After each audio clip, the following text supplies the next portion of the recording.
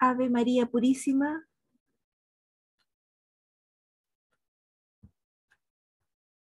Sin pecado concebida. Damos inicio al rezo del mes de Santa de María.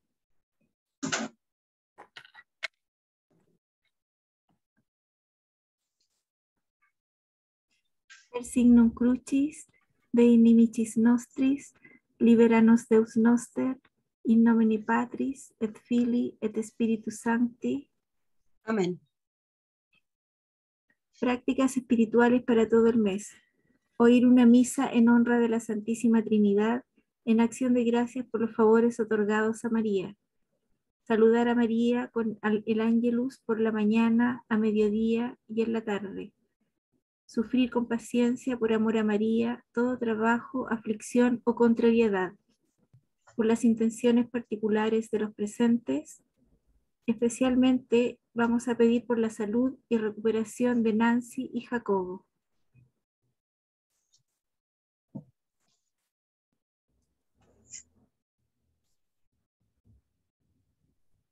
Oración inicial. Oh María, durante el bello mes que os está consagrado, todo resuena con vuestro nombre y alabanzas. Vuestro santuario resplandece con nuevo brillo y nuestras manos os han elevado un trono de gracia y de amor, desde donde presidís nuestras fiestas y escucháis nuestras oraciones y votos. Para honraros, hemos esparcido frescas flores a vuestros pies y adornado vuestra frente con guirnaldas y coronas. Mas, oh María, no os dais por satisfecha con estos homenajes. Hay flores cuya frescura y lozanía jamás pasan, y coronas que no se marchitan. Estas son las que vos esperáis de vuestros hijos, porque el más hermoso adorno de una madre es la piedad de sus hijos, y la más bella corona que pueden deponer a sus pies es la de sus virtudes. Sí, los lirios que vos nos pedís son la inocencia de nuestros corazones. Nos esforzaremos, pues, durante el curso de este mes consagrado a vuestra gloria, oh Virgen Santa, en conservar nuestras almas puras y sin mancha, y en separar de nuestros pensamientos, deseos y miradas, aún la sombra misma del mal la rosa cuyo brillo agrada a vuestros ojos es la caridad, el amor a Dios y a nuestros hermanos. Nos amaremos pues los unos a los otros como hijos de una misma familia, cuya madre sois, viviendo todos en la dulzura de una concordia fraternal. En este mes bendito procuraremos cultivar en nuestros corazones la humildad, modesta flor que os es tan querida, y con vuestro auxilio llegaremos a ser puros, humildes, caritativos, pacientes y resignados. Oh María, haced producir en el fondo de nuestros corazones todas estas amables virtudes, que ellas broten, florezcan y den al fin fruto de gracia, para poder ser algún día dignos hijos de la más santa y de la mejor de las madres. Amén. Día 11, destinado a honrar el dolor de María en la profecía de Simeón. Cuando José y María penetraban llenos de júbilo en el sagrado recinto, llevando las palomas del sacrificio, un santo anciano llamado Simeón se sintió iluminado por una inspiración divina. Bajo los pobres pañales del Hijo del Pueblo, reconoció al Mesías prometido y tomándolo de los brazos de su madre, lo levantó en alto, inundaba, inundada sus rugosas mejillas por lágrimas de gozo dirigióse enseguida a María y después de un largo y triste silencio le dijo con voz profética, tu alma será traspasada con una espada de dolor, porque este niño será el blanco de las persecuciones de los hombres. A la luz de esta siniestra profecía, vio la dolorida madre el cuadro sombrío de la pasión de su hijo. Ella inclinó suavemente la cabeza, como una caña se dobla al soplo de la tempestad, y sintió que una espada doble, de doble filo se introducía en sus entrañas de madre. Desde ese momento, toda felicidad concluyó para ella, y aceptando sin quejarse la disposición divina, acercó sus labios al cáliz que bebería durante su vida entera. Cuando estrechaba a su hijo amorosamente entre sus brazos y lo colmaba de maternales caricias, las palabras de Simeón venían a derramar gotas de hiel en la copa de sus voces de madre no le fue concedido a María lo que es dado a todas las madres, gozar en paz del amor de sus hijos e indemnizarse de los rigores de la suerte con una sonrisa amorosa de sus labios entreabiertos por la inocencia. Ella veía a todas horas escrita en la frente de Jesús la sentencia de muerte que los hombres habían de fulminar contra él en recompensa de sus beneficios. Esta idea lúgubre la sorprendía en el sueño, la molestaba en la vigilia, la perseguía durante el trabajo y la perturbaba durante las escasas horas del descanso. Ah, la, la túnica de Jesús, tejida por sus propias manos, antes de ser teñida con la sangre del Hijo, fue empapada en las lágrimas de la Madre. Los tormentos de los mártires, los rigores de los penitentes, las penas interiores de las almas atribuladas, nada tienen de comparable con este dolor. Los mártires sufrieron por un momento, pero María sufrió durante su vida entera. Sin embargo, a esos presagios siniestros, a esas imágenes sombrías y desgarradoras, ella opone una fe generosa y una resignación heroica. Adora de antemano los designios de Dios y saluda con efusión la hora de la salvación del linaje humano efectuada por los padecimientos del Hijo de sus entrañas. Hija ilustre de Abraham, ella se prepara a trepar a la montaña del sacrificio, a aderezar el altar y poner fuego al holocausto. Todo esto era preciso para la salud del mundo y exigido por la gloria de Dios, y no trepida un momento en sacrificarse con tal de dar cima a tal gloriosa empresa, a tal gloriosas empresas. En su largo y prolongado martirio, soportado con tan heroica resignación, María nos enseña a sufrir y a sobrellevar con alegría la cruz de los pesares de la vida. La verdadera gloria y el verdadero mérito se fundan y principalmente en el sufrimiento en la cruz. El sacrificio es la corona y el perfume del amor, y quien ama a Dios no puede menos que resignarse a los trabajos y penalidades a que somete la virtud de los siervos de sus siervos y prueba los quilates del amor que le profesan. Quien ama a Dios anhela sufrir por él para darle la prueba de la firmeza de su amor. Servir a Dios en medio de los consuelos es servirlo por interés y amarlo sin merecimientos.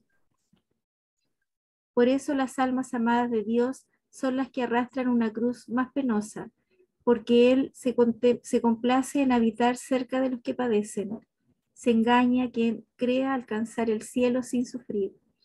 Después que Jesucristo y después que María alcanzan el mundo a fuerza de padecer, ningún elegido podrá conquistar la victoria sino padeciendo.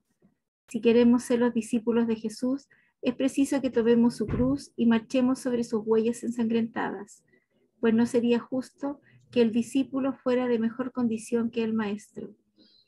El sacrificio es necesario porque sin él la santificación es imposible. El hombre que no se somete a esa ley imperiosa renuncia a su felicidad, que no puede obtenerse sino a costa del sufrimiento. Por más que trabajemos, la desgracia y los pesares nos seguirán a todas partes como nuestra propia sombra. El rey en su trono, el rico en sus palacios, el labriego en su, en su rústica morada, el mesteroso bajo su techo de paja, están asediados de penalidades. Dios lo ha dispuesto así para que no nos hagamos la ilusión de que la tierra es el paraíso y de que está aquí y de que está aquí el término de la jornada. Y bien, si nadie está exento de padecer, ¿cómo es que no hacemos provechoso el sufrimiento aceptándolo con resignación y con espíritu de penitencia? ¿Cómo es que el dolor no nos arranca injustas quejas y nos sumerge en la, desesperación, no nos quejemos y desesperemos cuando sobre, vengan sobre nosotros las olas de la tribulación. Levantémonos al cielo, levantemos al cielo nuestros ojos llorosos en busca de consuelo, de resignación y de fuerza, pero al mismo tiempo bendigamos a Dios, que nos concede los medios más seguros para alcanzar la posesión de la felicidad y que nos permite de esa manera asemejarnos a Jesús y María. Betanías lauretanas. Kiri eleison. Kiri eleison. Christe eleison. Christe eleison. Kiri eleison. Kyrie eleison. Christe audinos, Christe audinos. Christe exaudinos, Christe exaudinos. Mater de Celis Deus, Miserere nobis. Fili Redemptor Mundi Deus, Miserere nobis. Spiritus Sancte Deus, Miserere nobis. Sancta Trinitas Unus Deus, Miserere nobis. Sancta María, Ora pro nobis. Sancta Dei Genetrix, Ora pro nobis. Santa Virgo Virginum, Ora pro nobis. Mater Christi, Ora pro nobis. Mater Divine Gratiae, Ora pro nobis. Mater Purissima, Ora pro nobis. Mater Castissima, Ora pro nobis. Mater Inviolata, Ora pro nobis. Mater Intemerata, Ora pro nobis. Mater Immaculata, Ora pro nobis. Mater Amabilis, Ora pro nobis. Mater Admirabilis, Ora pro nobis. Mater Boni Concilii, Ora pro nobis. Mater Creatoris, Ora pro nobis. Mater Salvatoris, Ora pro nobis. Virgo Prudentissima, Ora pro nobis. Virgo Veneranda, Ora pro nobis. Virgo Predicanda, Ora pro nobis. Virgo Potens, Ora pro nobis. Virgo Clemens, Ora pro nobis. Virgo Fidelis, Ora pro nobis. Speculum Justitiae, Ora pro nobis. Sede Sapiense, Ora pro nobis. Causa Nostre Letitiae, Ora pro nobis. Vas Spirituale, Ora pro nobis. Vas Honorabile, Ora pro nobis. Vas Insigne Devotionis, Ora pro nobis. Rosa Mística, Ora pro nobis. Turris Davidica, Ora pro nobis. Turris Eburnea, Ora pro nobis. Dominis, Domin, Domus Aurea, Ora pro nobis. Frederis Arca, Ora pro nobis. Ianua Celi, Ora pro nobis. Stella Matutina, Ora pro nobis. Salus Infirmorum, Ora pro nobis. Refugium Peccatorum, Ora pro nobis. Consolatris Afflictionum, Ora pro nobis. Auxilium Christianorum, Ora pro nobis. Regina Angelorum, Ora pro nobis. Regina Patriarcharum, Ora pro nobis. Regina Prophetorum, Ora pro nobis. Regina Apostolorum, Ora pro nobis. Regina Martyrum, Ora pro nobis. Regina Confessorum, Ora pro nobis. Regina Virginum, Ora pro nobis. Regina Sanctorum Omnium, Ora pro nobis.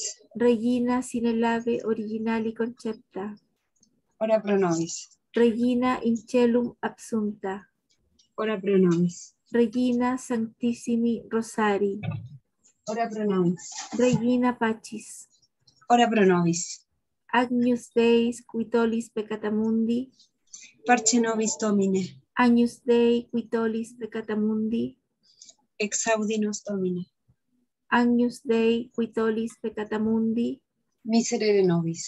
ora pro nobis Santa Dei Genetrix, Ut promissionibus Christi. Oremus, concédenos famulos tuos, quesimus Domini Deus, perpetua mentis et corporis sanitate gaudere, et gloriosa Beate Maria Semper Virginis intercessione, a presenti liberari di Christitia, et aeternam per frui laetitia, per Christum Dominum nostrum, Amén. prácticas espirituales para el día de mañana. Rezar siete al- salves en honra de los dolores de María, pidiéndole que nos enseñe a sufrir con fruto. Hacer un acto de mortificación de los sentidos, uniéndose a los dolores de María y sufriendo todo de todos sin incomodarse ni quejarse. Oración final del mes. Oh María, Madre de Jesús, nuestro Salvador y nuestra buena Madre, nosotros venimos a ofreceros con estos obsequios que traemos a vuestros pies nuestros corazones deseosos de seros agradables y a solicitar de vuestra bondad un nuevo ardor en vuestro santo servicio. Dignaos presentarnos a vuestro divino Hijo, que en vista de sus méritos y a nombre de su Santa Madre, dirija nuestros pasos por el sendero de la virtud, que haga lucir con nuevo esplendor la luz de la fe sobre los infortunados pueblos que gimen por tanto tiempo en las tinieblas del error, que vuelvan hacia Él y cambie tantos corazones rebeldes cuya penitencia regocijará su corazón y el vuestro, que confunda a los enemigos de su iglesia y que, en fin, encienda por todas partes el fuego de su ardiente caridad, que nos colme de alegría en medio de las tribulaciones de esta vida y de esperanza para el porvenir. Amén.